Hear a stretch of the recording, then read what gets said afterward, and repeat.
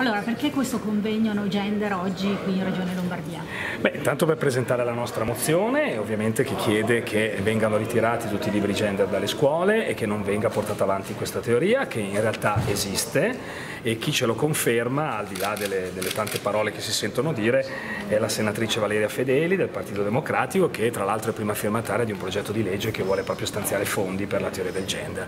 Quindi esiste, noi oggi spiegheremo che mh, stiamo raccogliendo quelle che sono un po' le preoccupazioni di tantissimi genitori che insomma non si vedono coinvolti nel piano eh, dell'offerta formativa all'interno delle scuole che, dove in alcuni casi, poi diremo anche quali, sono stati segnalati e documentati, effettivamente insomma, si insegna un qualcosa che non ha nulla a che vedere con le discriminazioni, che, cioè, cioè, tentare di ovviamente fare in modo che non ci siano discriminazioni nelle scuole, che è una cosa assolutamente giusta e corretta.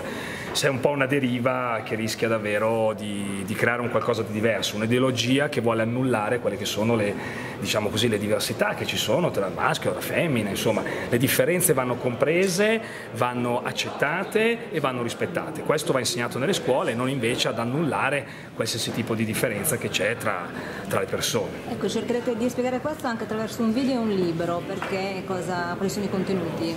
Ma i contenuti ovviamente del video che spiegano bene cosa si tratta la, la, cos'è la teoria del genere, quindi mi sembra giusto e corretto eh, spiegare bene questo concetto. È un video che dura un quarto d'ora ma è molto chiaro e semplice, quindi che può far comprendere a tutti effettivamente cos'è questa ideologia. E dall'altra parte il libro Gender di distruzione di eh, eh, Gianfranco Amato è un libro che racconta i tantissimi episodi che sono successi nelle scuole, quindi molto, è più un punto documentario di quello che è accaduto, delle varie denunce che sono state fatte, delle varie lamentele che gli stessi genitori hanno ovviamente fatto nei confronti degli istituti scolastici.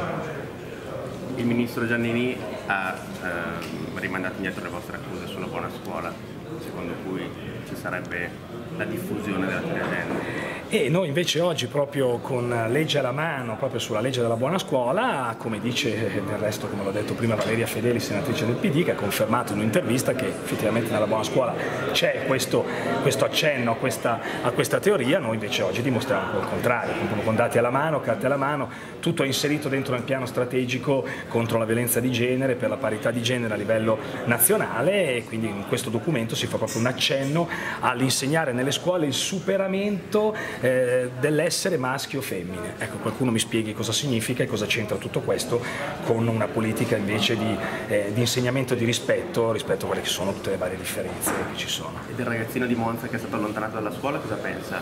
È, in, linea, è in linea con eh, con la vostra mozione, con quello che pensate?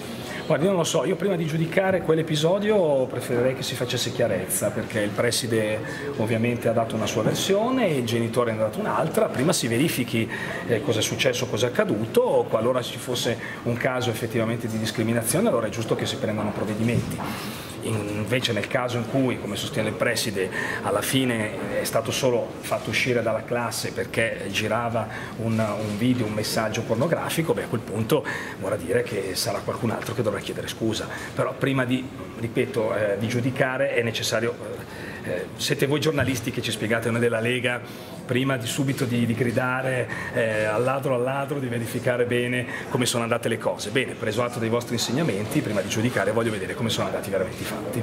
Qual è il pericolo per i giovani di queste teorie gender?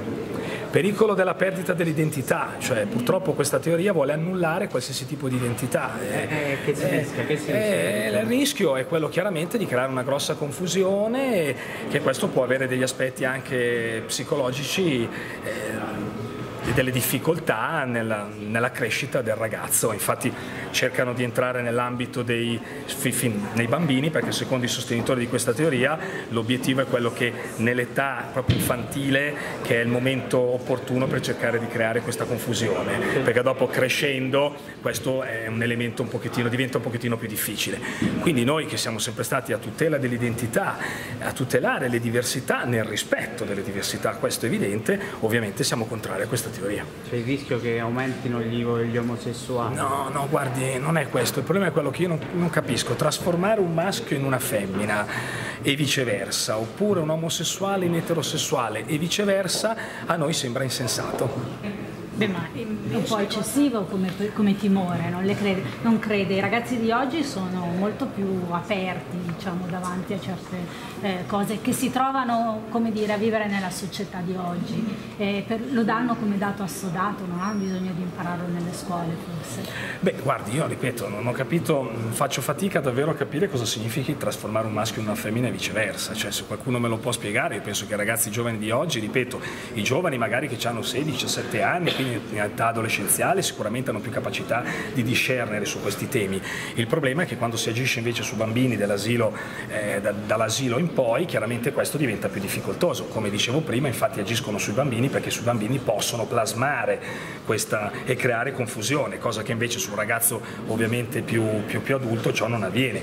Quindi ribadisco, sono cose che noi non, non, non reputiamo giuste anche perché l'educazione alla sessualità e all'affettività dovrebbe spettare ai genitori, questo è scritto nella Costituzione, e non alla scuola, che forse sarebbe bene che insegnasse un po' di educazione civica e magari a rispettare veramente le differenze che ci sono tra le persone. Con la mozione cosa volete ottenere politicamente? Beh, vogliamo fare un'operazione di moral suasion sostanzialmente nei confronti del provveditorato affinché faccia un monitoraggio nelle scuole lombarde e che questa teoria effettivamente non venga promulgata. L'arcigay Milano ha detto che la Lega costringe così gli omosessuali a vivere nella paura e vi ha accusato di fomentare a questo punto direttamente l'omofobia e le violenze che ci sono state quando ad esempio quella presunta del ragazzino di Pisa.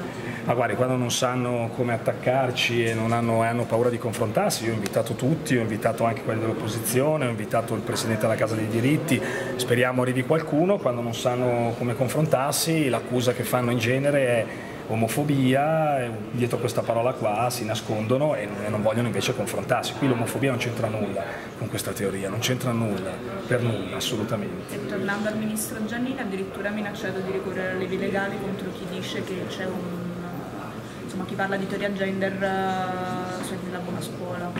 Beh, che mi denunci, sono pronto e disponibile ad andare davanti a un tribunale a sostenere quelle che sono le nostre tesi, senza nessun problema. Sí.